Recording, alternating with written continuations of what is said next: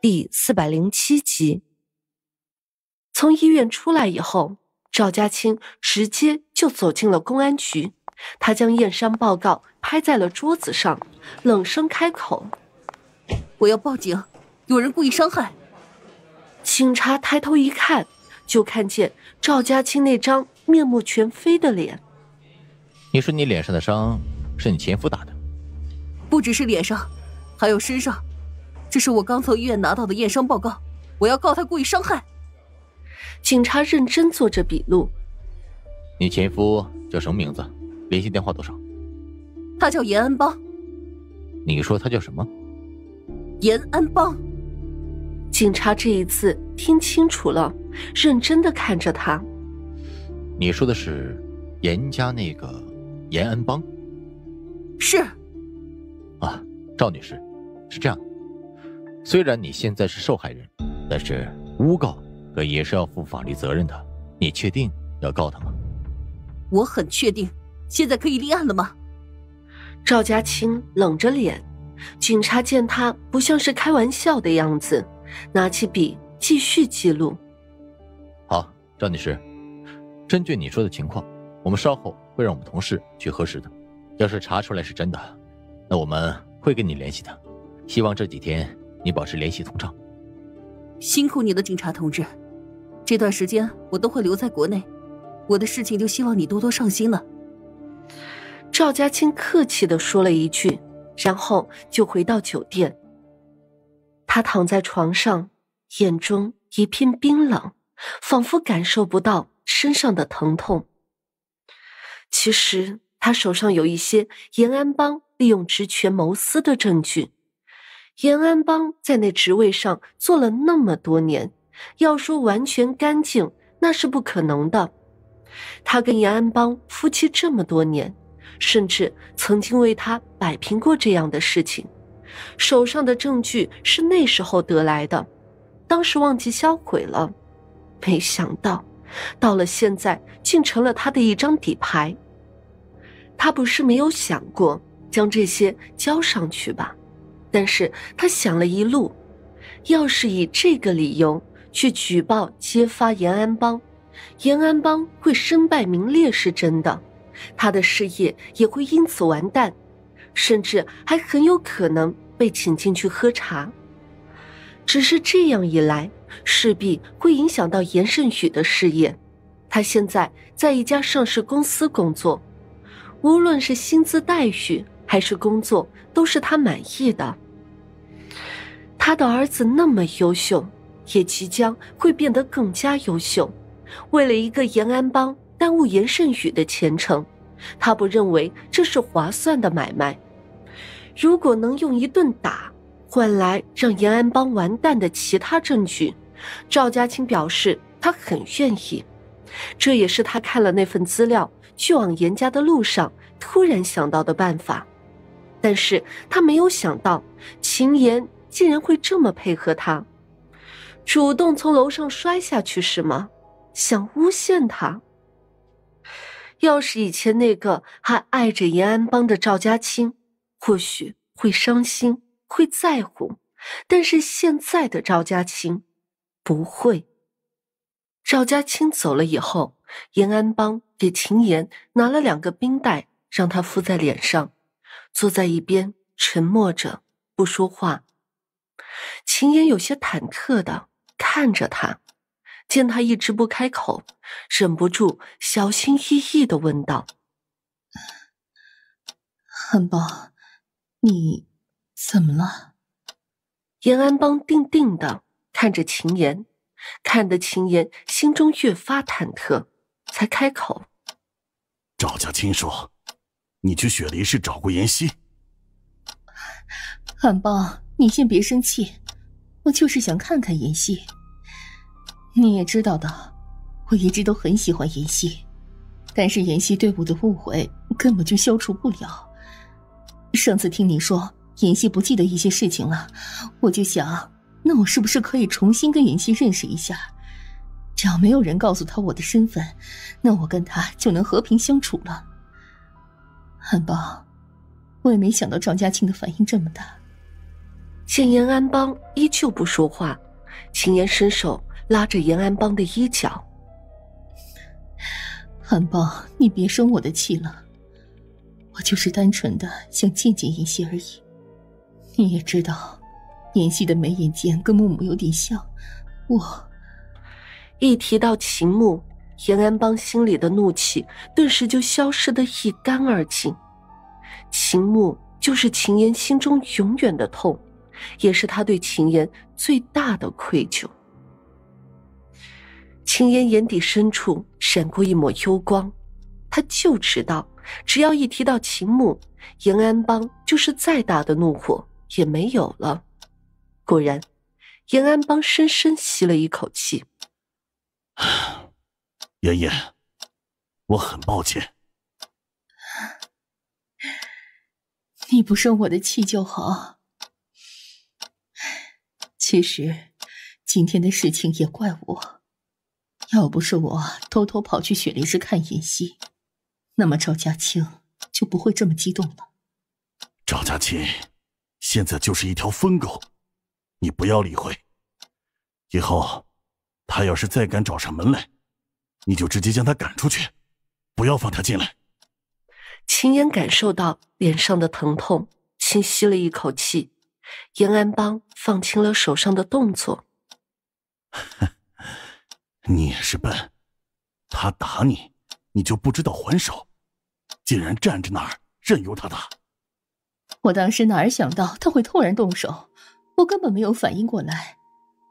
严安邦看着上门的警察，开始还有些莫名其妙。听了警察的解释，严安邦的脸色很难看。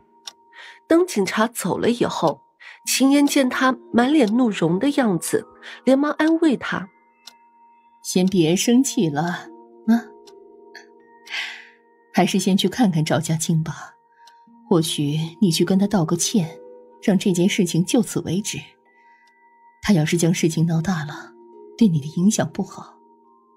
我道歉？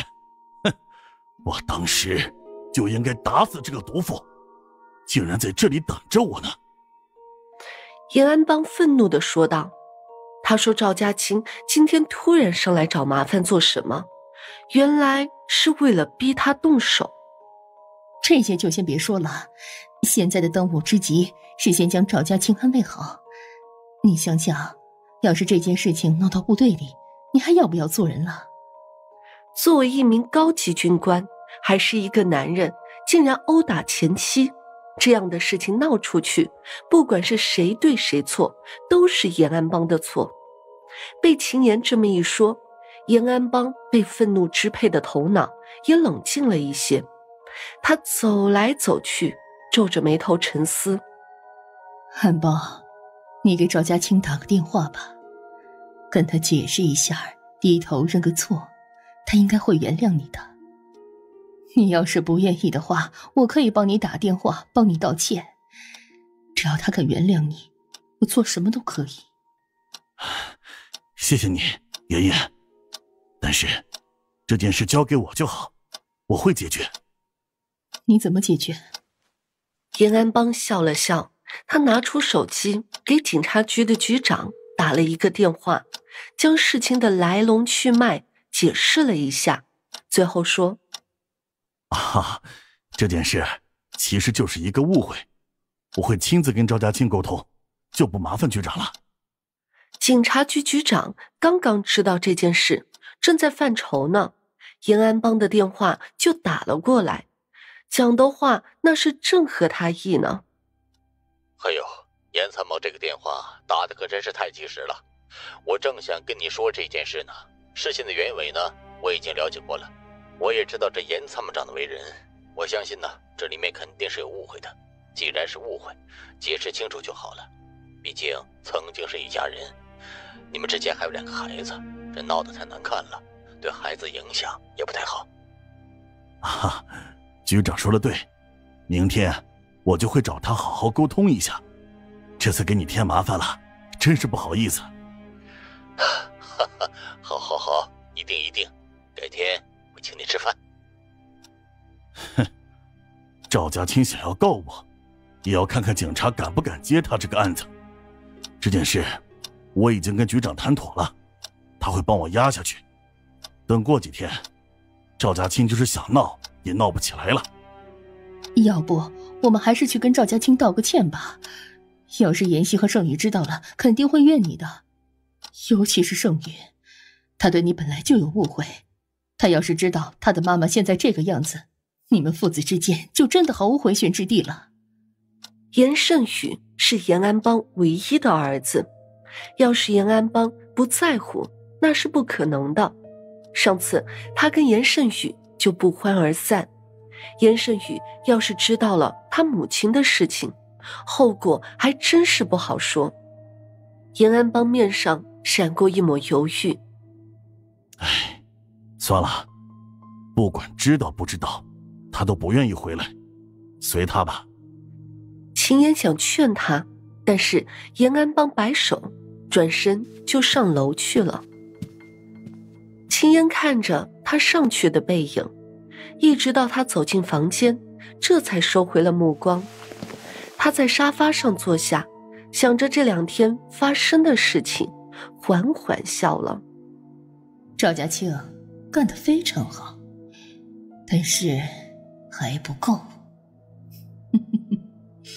继续闹吧，我很期待你的表现。